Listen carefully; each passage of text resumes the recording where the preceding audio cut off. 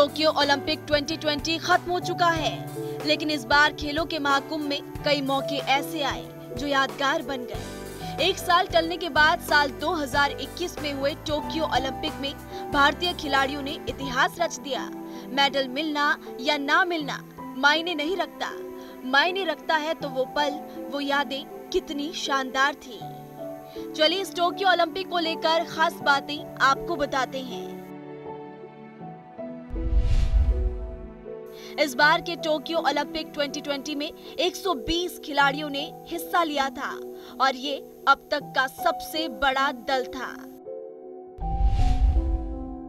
इससे पहले साल 2016 के रियो ओलंपिक में 117 खिलाड़ियों ने हिस्सा लिया था और तब भी वो अपने आप में एक बड़ा रिकॉर्ड था। अब एक ऐसी बात जो शायद ही किसी को पता होगी। ओलंपिक में आज तक भारत के सबसे कम खिलाड़ी सन 1900 में गए थे। मात्र एक खिलाड़ी ने सन 1900 में हिस्सा लिया था। ये बात उस समय की है जब हमारा देश ब्रिटेन हुकूमत का गुलाम था। इस खेल में हिस्सा लेने वाले खिलाड़ी का नाम नॉमन प्रिचार्ड है।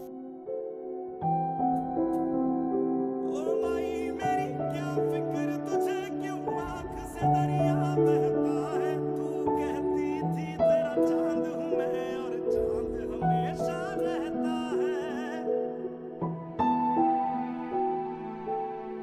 अब बात इस बार के टोक्यो ओलंपिक की करते हैं। भारत के लिए सबसे भावुक पल वो था जब नीरज चोपड़ा ने भाला फेंक प्रतियोगिता में भारत के लिए ओलंपिक्स का पहला गोल्ड मेडल जीता था। साल 1980 के बाद भारतीय राष्ट्रगान जब चला तो अपने आप में हर भारतवासी के लिए ये गर्व का पल था।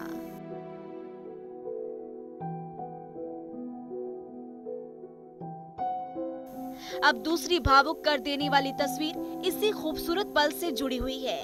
दरअसल इंग्लैंड में चल रहे भारत के मैच के बीच कमेंट्री कर रहे सुनील गावस्कर भी भावुक दिखे और कमेंट्री छोड़ ओलंपिक में भारत के गोल्ड की खुशी ज़ाहिर करते दिखे। साथ ही गाने लगे, मेरी देश की धरती, सोना उगले उगले हीरे मोती।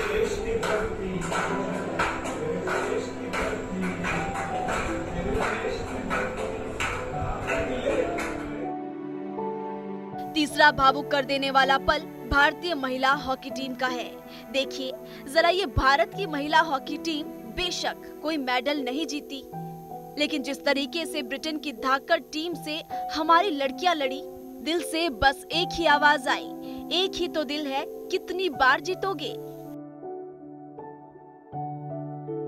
उनके अच्छे प्रदर्शन के बाद ग्रेट ब्रिटेन के ऑफिशियल हॉकी टीम के ट्विटर हैंडल से भी भारतीय महिला हॉकी टीम को शाबाशी दी गई थी। ट्वीट में लिखा था कि क्या गजब का खेल था, क्या गजब के खिलाड़ी थे।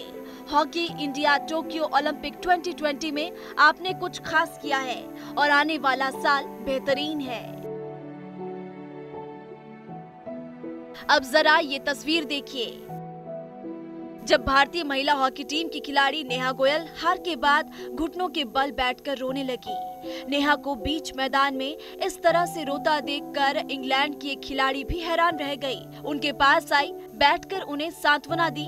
इसे ही तो कहते हैं एक असली स्पोर्ट्समैन स्पिरिट टोक्यो ओलंपिक 2020 में भारतीय पुरुष हॉकी टीम ने क्या कमाल का खेल खेला। भारतीय पुरुष हॉकी टीम ने उनचास साल के लंबे इंतज़ार के बाद ओलंपिक में शानदार प्रदर्शन किया और टीम के शानदार प्रदर्शन के बाद हर तरफ़ मानो जश्न का माहौल था। अब इसमें भावुक कर देने वाला पल क्या है? तो देखिए, टोक्यो ओलंपिक में तब भारतीय पुरुष हॉकी टीम ब्रिटेन को हराकर सेमीफाइनल में पहुँची। पूरी दुनिया में लोग खुशी से झूम उठे।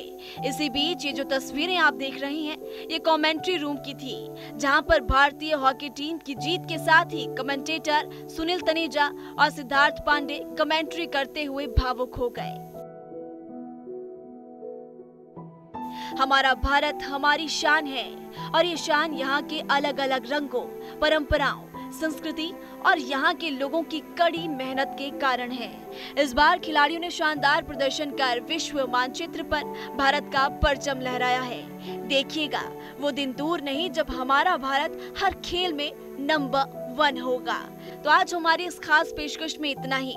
हम जल्दी ही ऐसी कहानी लेकर ज़रूर आएँगे। तब तक के लिए आप बने रहिए जनता टीवी के सोशल मीडिया प्लेटफॉर्म के साथ।